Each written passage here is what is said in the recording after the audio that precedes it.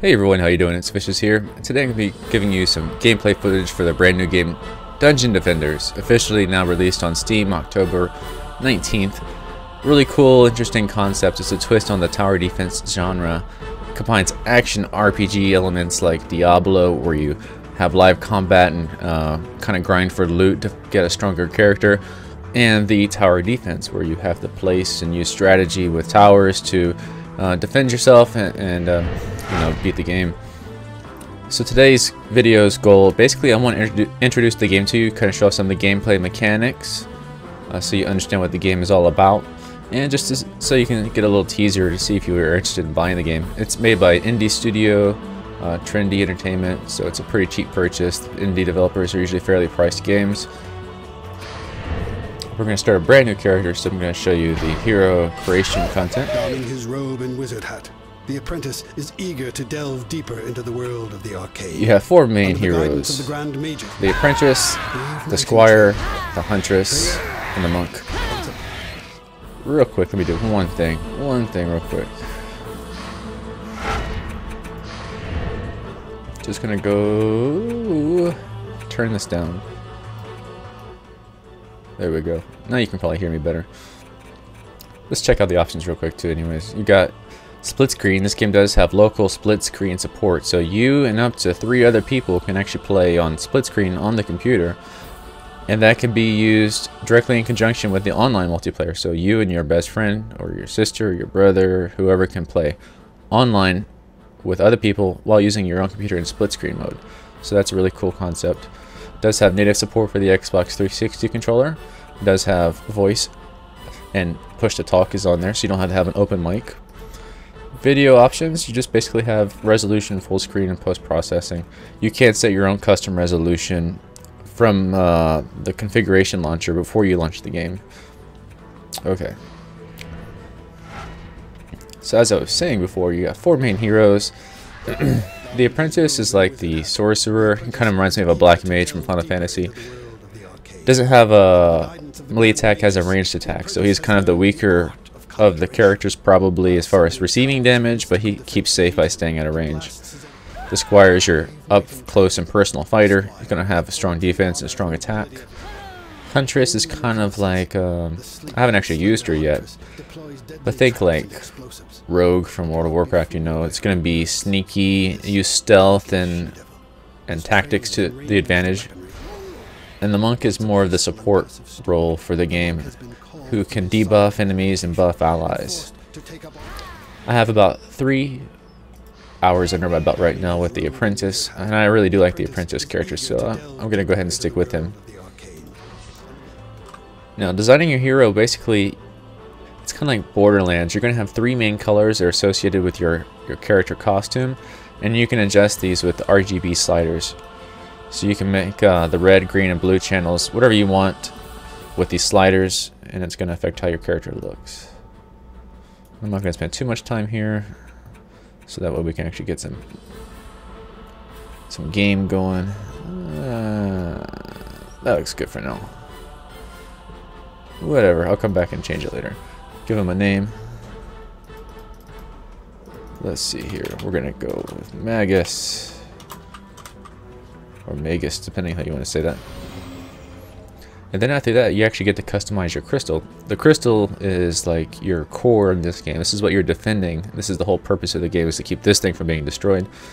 And the same thing, just like the character customization. You have three main colors here. You have the aura, which is what's shining on the floor the main gem color and the souls, these little sparklies coming off. You can adjust these RGB values to customize the way it looks. I think it was a really neat idea to do this. It kind of does have, uh, add some extra extra layers of customization to the game to kind of keep it fresh. Oops. Oh yeah. And also you have many, many more versions of that that you can unlock as you complete different challenges and requirements. But right now, since I'm just starting a new game, I only have the basic one. There it goes. Alright, good with that. So I'm going to select my hero. And we're going to go ahead and start a game.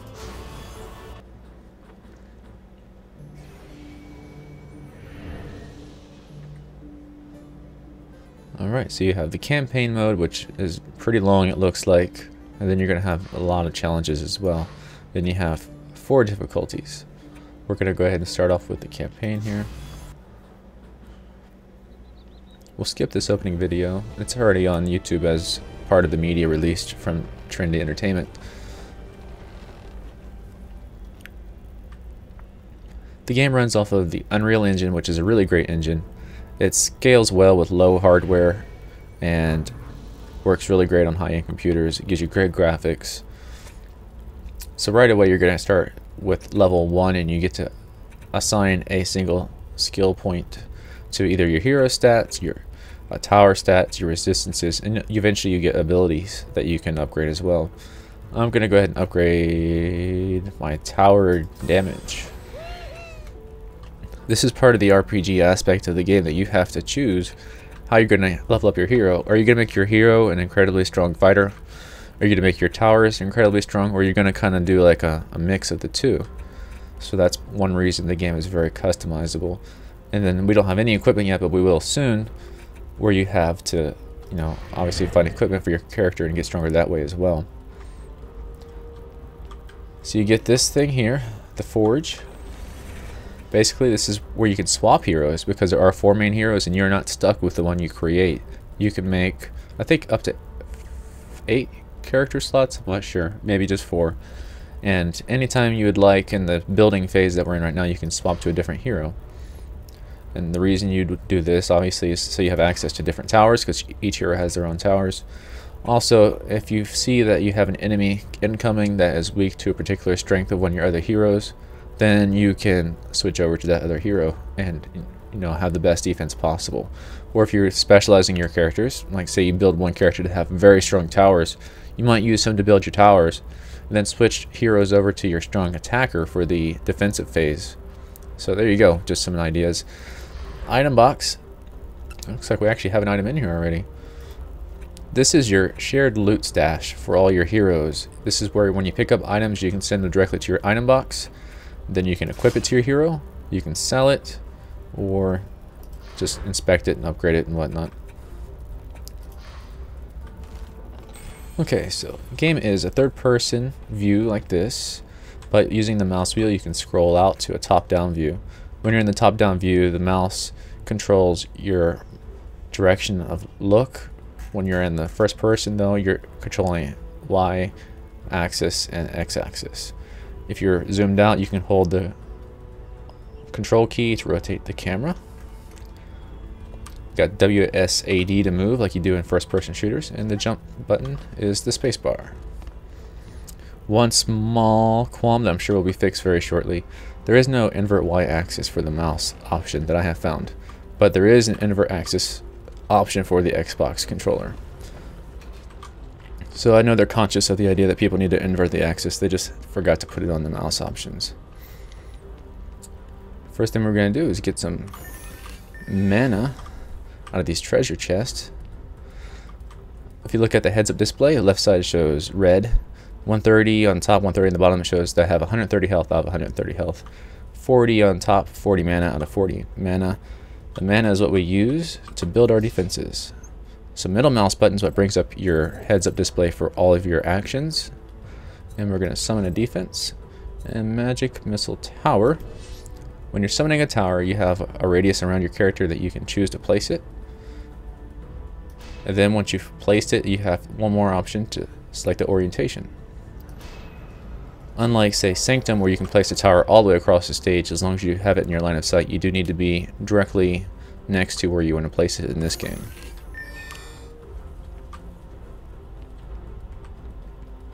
And that's because during the combat phase, you will be upgrading, replacing, and fixing towers and stuff. While in Sanctum, you didn't have any of that to do.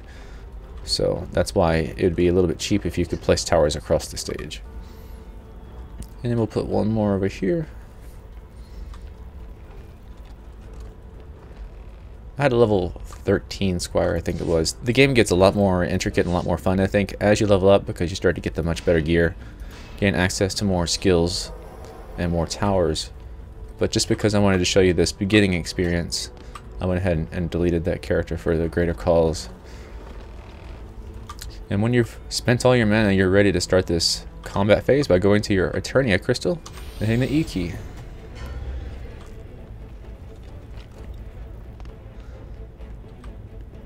So I've got range to my advantage. Just want to stay away from these guys and kind of knock them down with some magic bullets. I can charge up this weapon if I want to. Does more damage that way, and it does a little bit more area of effect damage.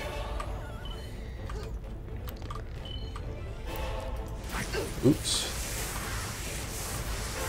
I find a really good balance uh, so far between the damage your towers provide and the defense they provide and your character's damage and defense. I feel like if you like the tower defense genre, you can really depend on your towers heavily. And I feel like if you're an action RPG fan, you can invest into your hero and do a lot of damage with your hero. So it really does let you play the game the way you want to play it. When you complete a wave, you're going to get the treasure chest to respawn. So this is going to be how you get some equipment. Sometimes there's equipment in here, like right there, I got some boots. F key lets you equip it, E key puts it in the item box. So we'll equip it since I have no boots on.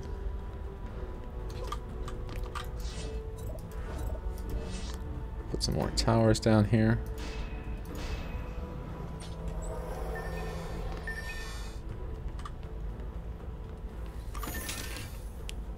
Looks like we got put that in the item box and a new weapon. Nice. Now weapons, when you get a new weapon, it does show up on your character. So you will be showing off whatever awesome weapon you have with your character graphics. Armor, however, is purely statistical, so you don't actually see any difference in your character armor. Maybe higher level stuff later in the game will give you some kind of visual effect on your character.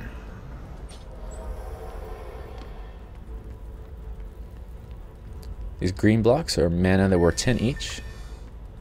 Little blue ones that drop off the enemies, they're worth like 1 each. Another one. And we'll just put that in the item box. And this item box.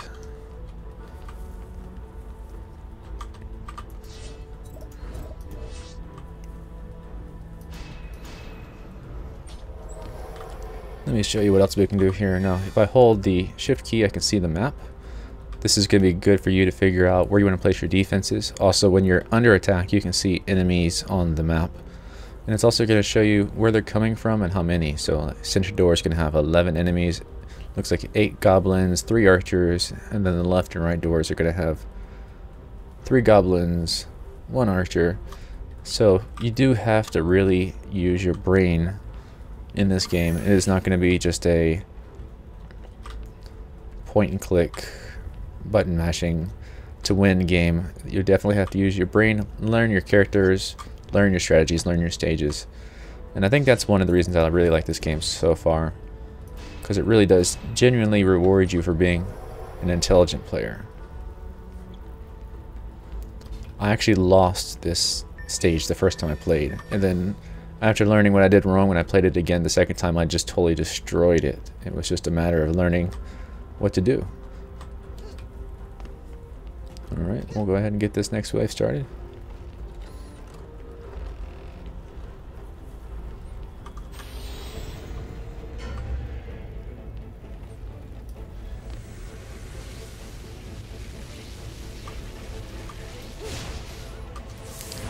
I missed.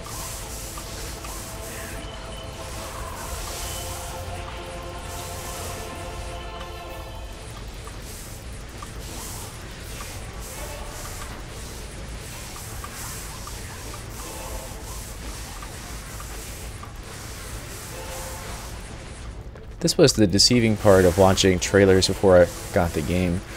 This is when you're watching this combat phase, it doesn't look really interesting in my opinion. You don't really get to know the depth of the game, which is why I really wanted to bring you a video showing the gameplay experience. Looks like I leveled up here. Let's go ahead and do defense damage, defense area. Good. When you level up, you get the ability to have more health and more mana.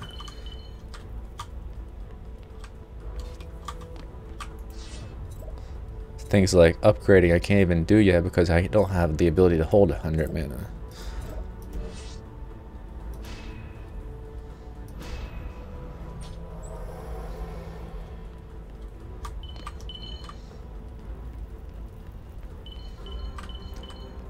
So I haven't gotten a chance to go online and play with other people yet. So I'm curious to know what happens with loot. Like when you're getting loot from treasure chests and from enemy drops, is it exclusive to you as in you're the only one that will see it so you can pick up your loot? Or is it going to be uh, a loot hog problem where somebody can run around grabbing all the treasure chests and leaving you bone dry? That's one thing I'm very curious about. I do hope it has something similar to like the new Diablo 3 game where when you see loot it's for you and you only and the other characters can't see it. Or if it has some kind of like random loot distribution system so that it like you know, gives each character a piece of loot in order. Something along those lines I think would be really nice.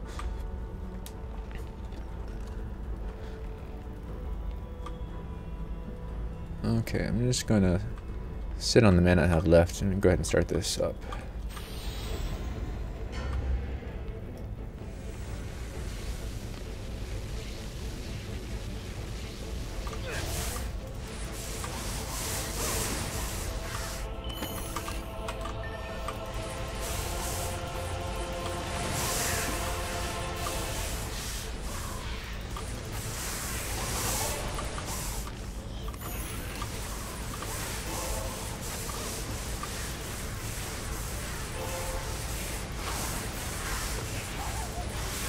As this is the first stage, it is not too difficult.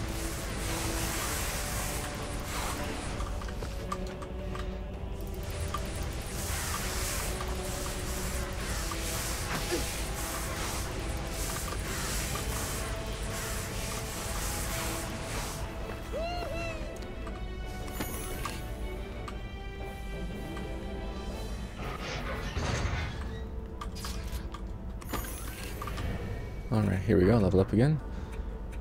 Let's get some hero damage. There we go.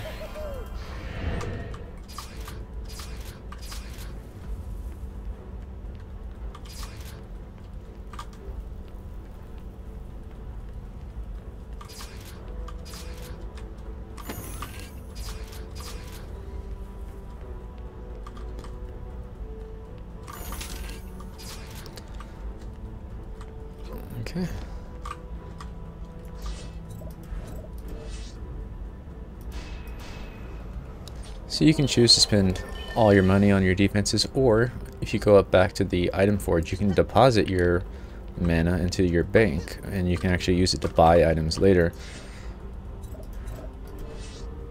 So that's a creative choice there as well, because you can decide whether you want to risk not spending all your money during the stage and save some of it for purchasing items and upgrades, or you can decide to, you know, just go all out and make sure you win. I think this is the first wave. Yes. I have ogres or something coming from the left and right doors. So I gotta make sure I take care of those guys. Also, I now have the magic blockade. I just unlocked that. So here's what we're going to do.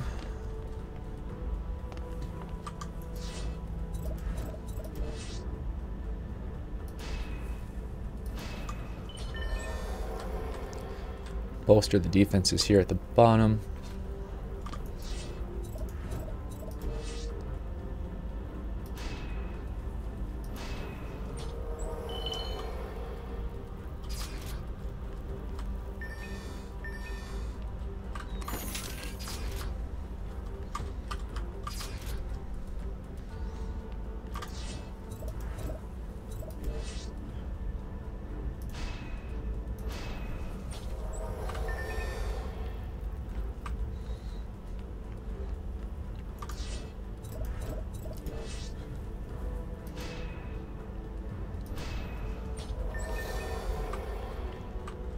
Okay. This building phase can be a little bit on the slow side, perhaps. But it's not like it actually feels slow when you're doing it.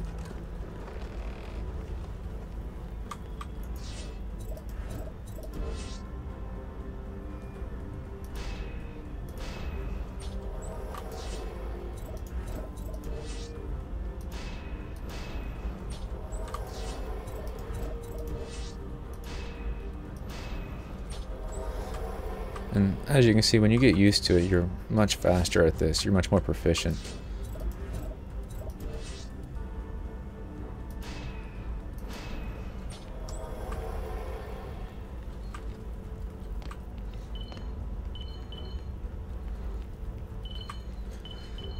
So let me talk about some of the other stuff. Not only do you get to upgrade your equipment, or I should say not only do you get to collect equipment, you can upgrade your equipment, so you can invest into your equipment and spend mana on upgrading it. Looks like I think 25 levels each piece of equipment can go up. There's a pet system in this game where you have uh, like a pet tag along with you and you can boost your abilities or attack and do a whole bunch of different things. And those again can be upgraded as well. So that adds another layer of depth to the game.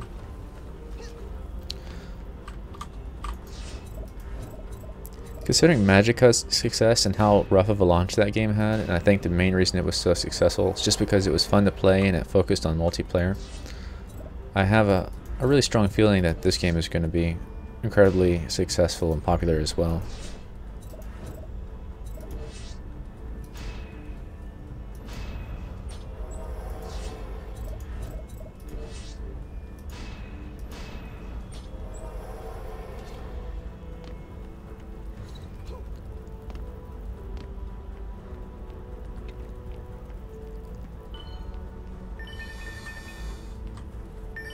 Okay, we're ready to get this going now.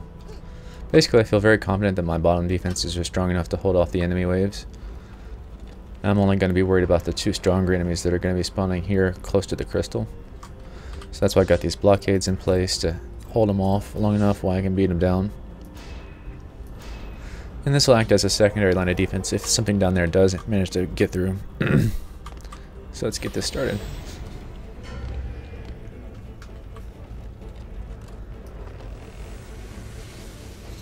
So new enemy type here. These are the strongest ones, yeah. They have a lot of life. They're kind of like tanks. Melee focus, they can't hit you if you stay away from them.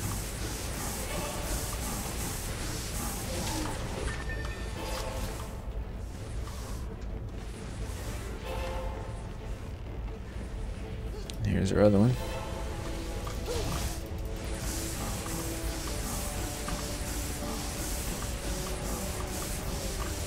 And see now, my towers are going to hold him off. He's not going to get a hit on that crystal. Alright, down you go.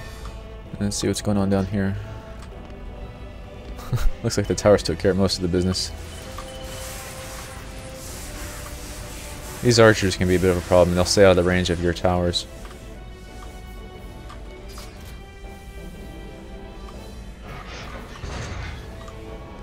Final wave and level up. Let's get a little bit of hero speed, some area. There we go.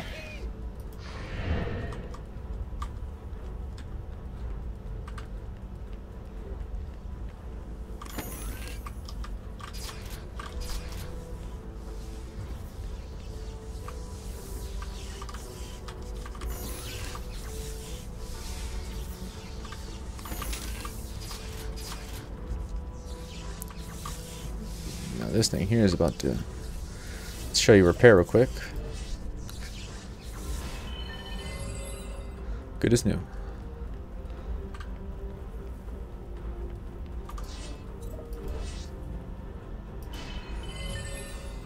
So I find the user interface pretty innovative. It works really well for this game. You can use hotkeys if you choose to. As you see over there in the heads-up display, 1 through 0 is all hotkeyed, so you can use those if you'd like. And I've been picking up all those items and sending them to the item box. Let me show you that real quick. Probably have some stuff in here I can use. It gives you a nice little thumbs up if it's better than what you're wearing, thumbs down if it's worse, and thumbs to the side if it's about the same. So that's a good quick reference. So I know this weapon is definitely better than what I have right now. So we'll go ahead and give it to my hero. Looks like lots of armor here and gloves. Lucky, lucky, lucky. We'll go with that for now. Some chest armor, some gloves, some boots. And now what you can do, here's a really neat feature as well. If you pick up an item and you know you're going to save it for later, you can click on it and say lock it and it protects it so that you can accidentally not sell it. And also so you can use this sell all feature. And it's going to sell every single item that I don't have locked. And now you can see in the bank I have this much money and I can use that later on to purchase stuff.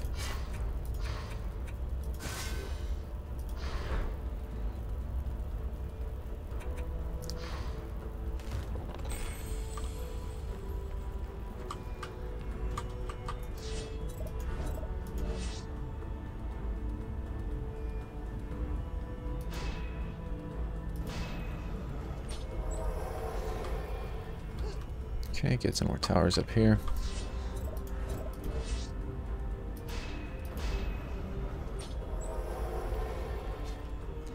And what's coming up this wave? Two ogres on each side. Yeah, I think we've got enough to take care of that.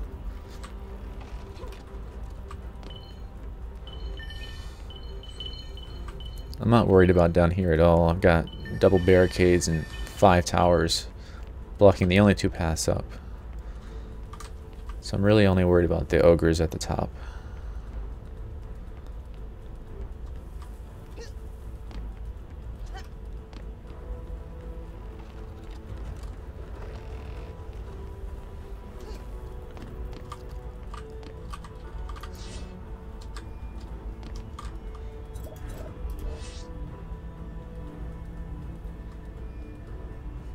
Mm-hmm. Looks like I'm not got enough space in there. I can always put it behind.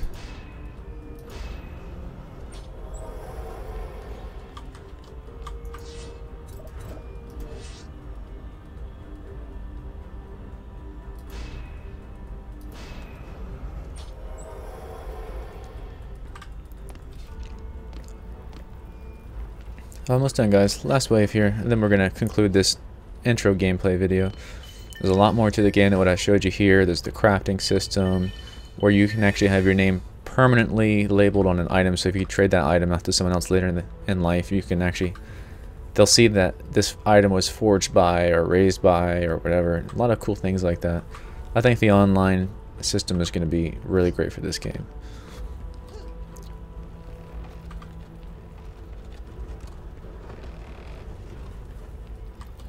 Alright, final wave, here we go.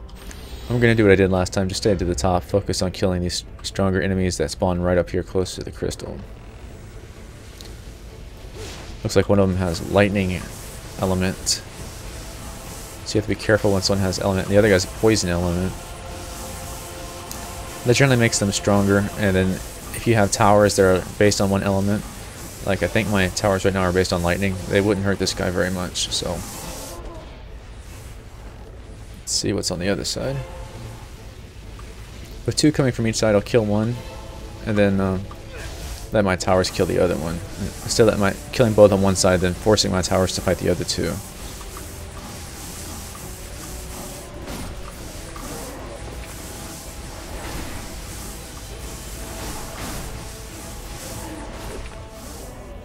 Okay, and let's go hop down here and help out.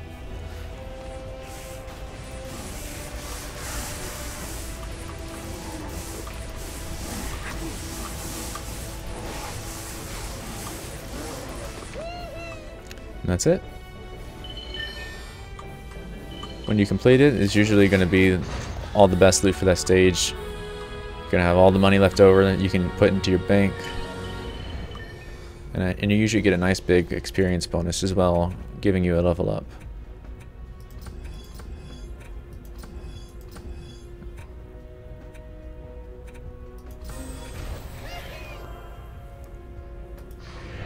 There we go.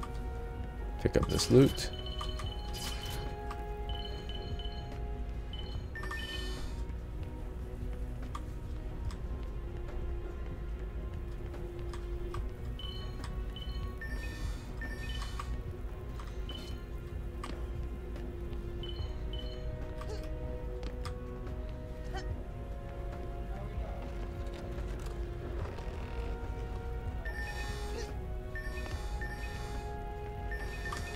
Think we got it all.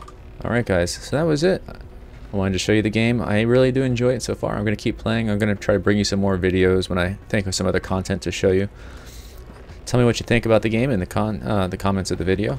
Always remember to rate and subscribe if you like what you see, and I'll have more stuff for you in the future.